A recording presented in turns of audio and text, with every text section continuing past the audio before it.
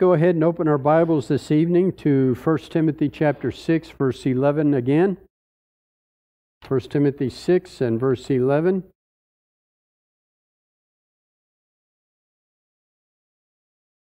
I'll read the text and we'll pick up where we left off last week. Paul writing here to Timothy, but flee from these things, you man of God, and pursue righteousness, godliness, faith, love, perseverance, and gentleness. And tonight we come to the last of these statements here that Paul exhorted Timothy to pursue in his first epistle to Timothy. He started with righteousness, godliness. He moved from that to faith, then to love. Last week we saw to perseverance. And whenever we examined perseverance, we saw that it is a holy determination stemming from a knowledge of God and His will. And tonight we're moving into that word gentleness. Gentleness. This particular Greek word that's used here appears only here in the New Testament. It has a root word, or the word we're more familiar with, that we get our English word meekness from, or that is translated, I should say, meekness. And it has that meaning of meekness. But before we get specifically into what it does mean, I want to mention for a moment some of the things this word gentleness does not mean. That it does not mean. First of all, it does not mean do not confront individuals with regard to their sin or to their false doctrine. It does not mean that. We know that from many places. One of them is you'll find, and I'll ask you to move there with me for a moment, to Galatians chapter 2, verse 11 whenever you're going to Galatians 2, verse 11, if Paul was not exercising gentleness here, then he would be hypocritical, exhorting us to pursue gentleness in 1 Timothy 6:11. But Paul here in Galatians chapter 2 gave an account of a time when he confronted Peter. Take a look at it with me. Galatians chapter 2 and verse 11. But when Cephas, that is Peter, came to Antioch, I opposed him to his face because he stood condemned. And he goes on to explain what situation brought that on. But notice there in verse 11, he said, I opposed him to his face. Paul did not jettison gentleness here. Not at all he confronted Peter with the truth of his compromise and his sin.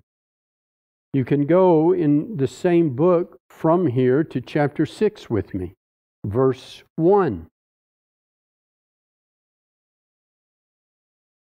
Notice what Paul wrote here to the churches of Galatia. Brethren, even if anyone is caught in any trespass, you who are spiritual, restore such a one to in the spirit of gentleness. Notice they're used here. It's a different Greek word, but it has the idea still of meekness. You restore them. You, in order to restore them, you're going to have to confront them with how they have steered away from God's truth. So, gentleness does not mean you do not confront someone because of their sin or their doctrinal error. First thing. Second, gentleness does not mean you do not contend. Look at the very next thing Paul told Timothy in 1 Timothy chapter 6 verse 12. The last thing he said in verse 11 was Timothy was to pursue gentleness and the very next word in verse 12 is what? Fight. Isn't it that amazing? These two are held together here meekness or gentleness and fight. fight the good fight of faith. Fight the good fight of faith. Paul of himself said in 2 Timothy, I have fought the good fight. We have been looking at Jude, and in particular in verse 3 on Sunday mornings. And in Jude, verse 3, we, we have the command that we are to earnestly contend for the faith, right? So, gentleness does not mean that we do not confront, it does not mean we do not contend. What does it mean then?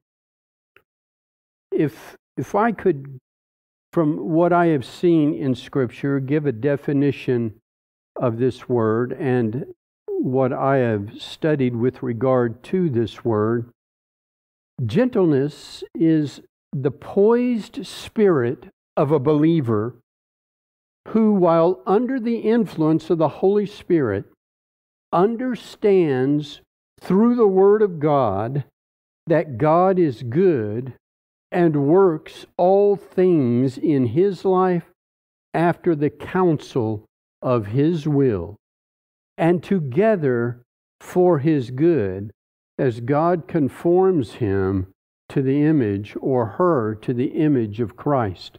So, gentleness speaks to a spirit that is under the control of the Holy Spirit and has an understanding of the power of God in his or her life.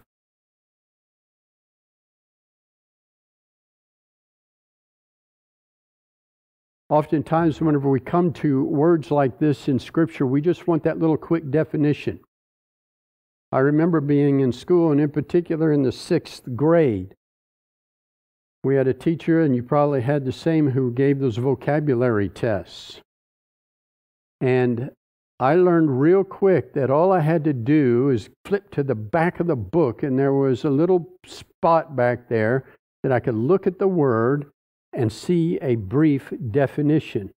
And it was pretty easy to do. I just memorized that little brief definition, put it down on the paper, and got 100 every time.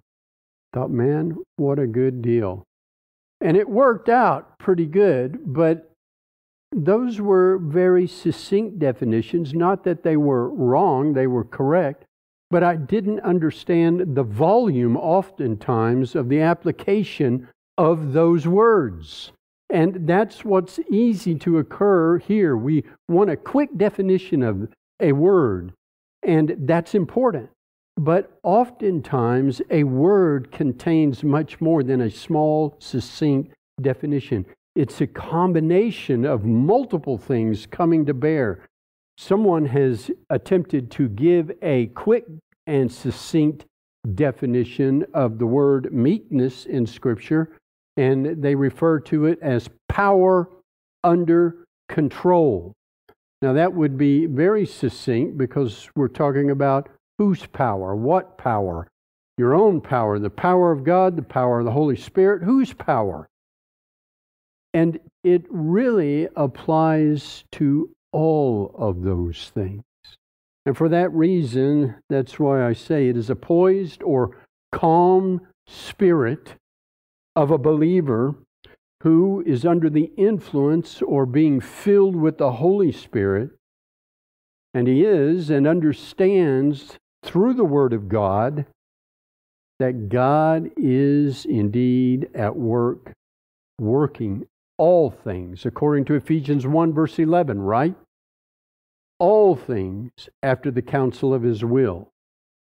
What things does God work after the counsel of His will? All things. Nothing transpires in heaven or earth that is not being worked out after the counsel of the will of God.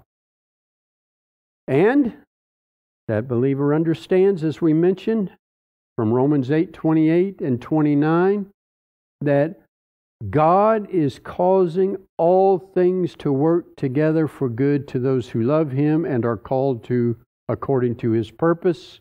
What purpose is that? Conformity to the image of Christ. That's a recognition of great power. And that's in the life of a person who has the spirit of gentleness, who is pursuing gentleness, who is following after gentleness.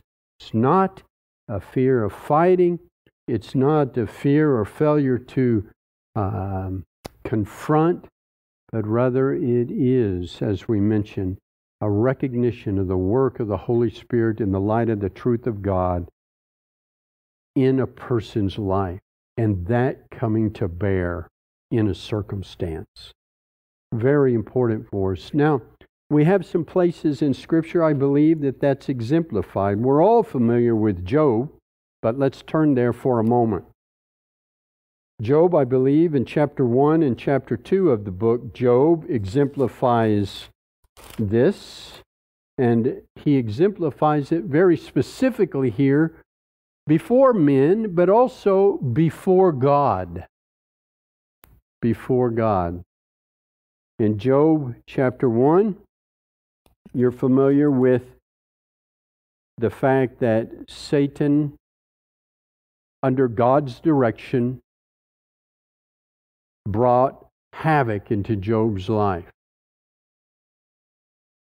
He's, the text tells us, starting in Job 113, now on the day when his sons and his daughters were eating and drinking wine in their oldest brother's house, a messenger came to Job and said, The oxen were plowing and the donkey feeding beside them. And the Sabeans attacked and took them. They also slew the servants with the edge of the sword and I alone have escaped to tell you. While he was still speaking, another one also came and said, The fire of God fell from heaven and burned up the sheep and the servants and consumed them, and I alone have escaped to tell you. While he was still speaking, another also came and said, The Chaldeans formed three bands and made a raid on the camels and took them and slew the servants with the edge of the sword and I alone have escaped to tell you. While he was still speaking, another also came and said, Your sons and your daughters were eating and drinking wine in their oldest brother's house, and behold, a great wind came from across the wilderness and struck the four corners of the house, and it fell on the young people, and they died. And I alone have escaped to tell you. And I want you to look closely at verse 20. Because here's another thing that gentles, gentleness is not. We could take it back to the New Testament as well. Gentleness does not mean we don't suffer. It doesn't mean we don't suffer. We do as Christians. Job was suffering here right now. Take a look at the text. The text says Job arose and tore his robe and shaved his head. He suffered. He suffered the loss of his possessions. He suffered especially the loss of his children. He suffered. Paul talked of his own suffering. But the fact that he suffered didn't mean he wasn't gentle. Notice what Job did do, though. He fell to the ground and he worshiped. There was that gentleness, and meekness.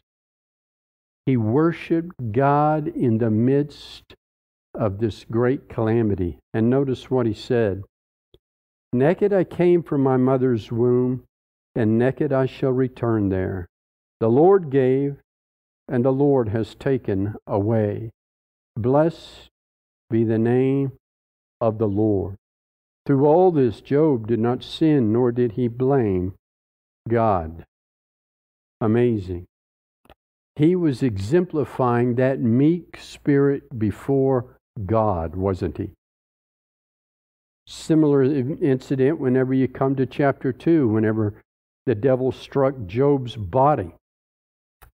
He said in verse 10, speaking to his wife, who had just said, Why do you still hold fast your integrity? Curse God and die.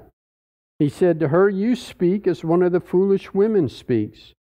Shall we indeed accept good from God and not accept adversity? And all this Job did not sin with his lips. And we know later that Job actually said of the Lord himself, Though he slay me, yet will I hope in him. David was a man, the Bible says, after God's own heart. He was also a man of war. He said to God in one of the Psalms, You have trained my hands for war. David was noted for slaying in hand to hand combat tens of thousands of Philistines. Yet he was humble, meek before God. Take a look at a point in David's life whenever God's judgment was on David.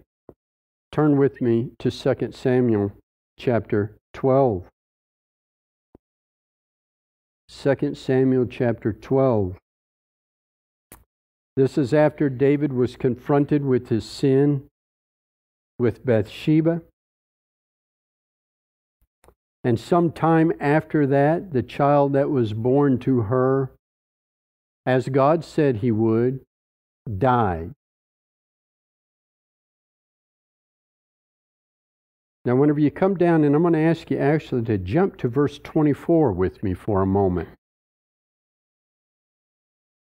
I know many individuals, whenever they come to First or Second Samuel chapter 12, and they look at the loss of this child, back up in verse 15, the text says, So Nathan went to his house. Then the Lord struck the child that Uriah's widow bore to David, so that he was very sick.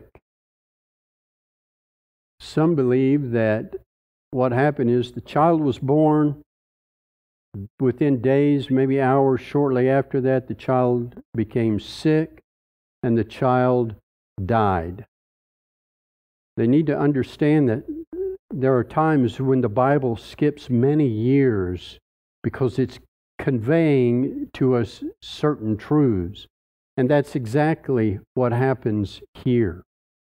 If you jump down to verse 24, you see the text, and it says, Then David comforted his wife, that's Bathsheba, and went into her and lay with her, and she gave birth to a son, and he named him Solomon. The Bible presents it to us similar here as it did back in verse 15. David went to his wife Bathsheba, he lay with her, and she had a child. No, there was nine months of time in between that. Solomon was one of multiple children that were born to David and Bathsheba after she had conceived and gave birth to her first child. And you can look over in 1 Chronicles chapter 3 and verses 4 and 5 and see that. But what's the point here? In this text, at this time, this child and by the way, that word child there in the Hebrew can be translated adolescent. As a matter of fact, the three Hebrew youths in the book of Daniel, the same Hebrew word is used to describe them as this child.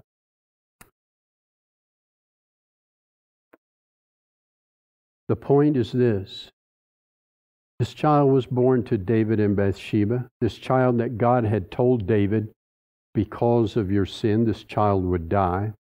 And David saw this child live in their house with them and grow to somewhere, most likely into his teenage years. In that time, there was a relationship that he built with that child. And then one day, that child became sick. Look at the text. Then the Lord struck the child that Uriah's widow bore to David, so that he was very sick. David therefore inquired of God for the child. And David fasted and went and lay all night on the ground. He was praying for that child because he knew this was not an ordinary sickness. This was a sickness that would eventually, most likely, take this child's life. And he knew that. And why? because God, years before, told David, because of your sin, this would happen. Now, David knew that God was a merciful God. So he cried out to God, and that's exactly what the text tells us. And we know the story how this child died. In verse 19, the servants said to David, after David said, Is the child dead? They said, He is dead.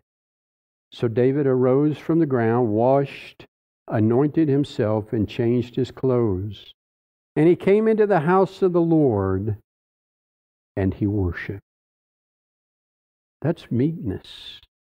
He didn't go in shaking his fist at God. He wasn't an angry man crying out to God and his fists in the air, Why me, O God? No, he knew why. And he worshiped God. I love the scenario here that is given to us. Look what it says. He washed himself. He got up from the ground. He washed, anointed himself. He cleaned up before he worshiped God. He changed his clothes and he came into the house of the Lord and worshiped. Then he came to his own house, and when he requested, they set food before him, and he ate.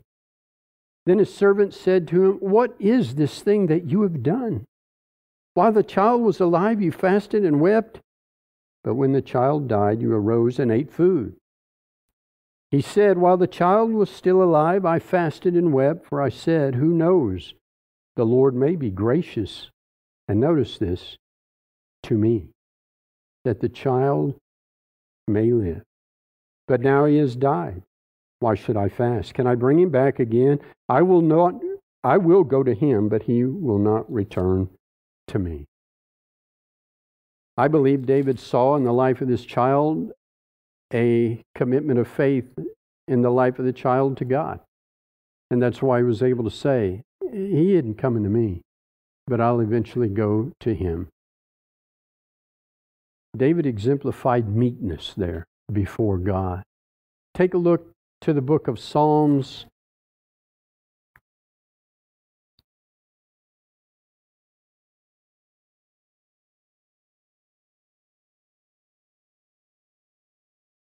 I believe that's a reference to Solomon there. Okay. Yep. Most most likely, yes. Okay. Let's go over to Psalm 119.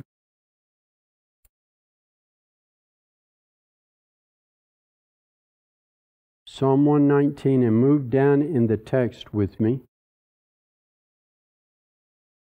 Let's go to verse 68.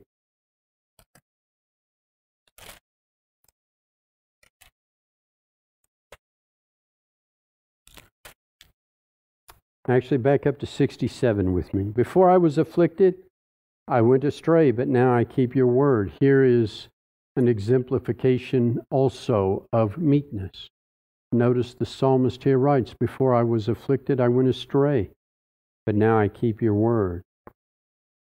He says in verse 68, and he recognizes that God is good here. He says, You are good and you do good. Teach me your statutes. Verse 68 immediately follows the fact that the psalmist acknowledged he was afflicted. How and by whom was he afflicted? He tells us. Jump down in the text of verse 75. I know, O Lord, that your judgments are righteous and that in faithfulness you have what? Afflicted me. God, you've afflicted me. Whenever Satan raised havoc in Job's life, Job ultimately knew and understood it was the sovereign hand of God working in his life.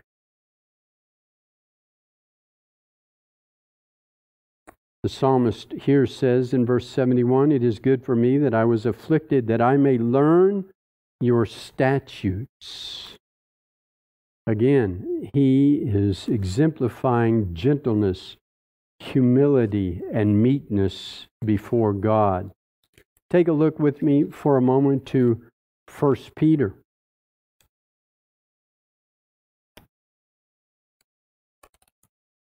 In 1 Peter, notice that overall context of this has to do, of this epistle, has to do with suffering and trial.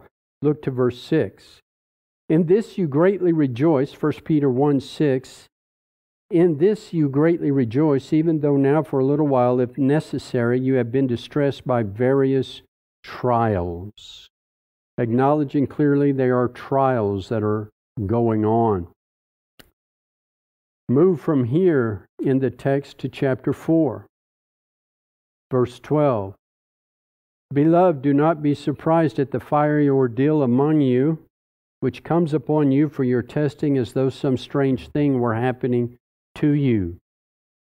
But to the degree that you share in the sufferings of Christ, keep on rejoicing, so that also at the revelation of his glory you may jo- rejoice with exultation. Suffering is in view. But notice what Peter says when you move to chapter 5. He points out in verse 5 that God is opposed to the proud, but he gives grace to the humble. And so, what does he exhort us all to do? Therefore, he says, Humble yourselves under the mighty hand of God, that he may exalt you at the proper time. And in verse 10, after you have suffered for a little while, the God of all grace, who called you to his eternal glory in Christ, will himself perfect, confirm, strengthen, and establish you. To him be dominion forever and ever. Amen. So, whenever we're talking about the pursuit of gentleness, we're talking about the pursuit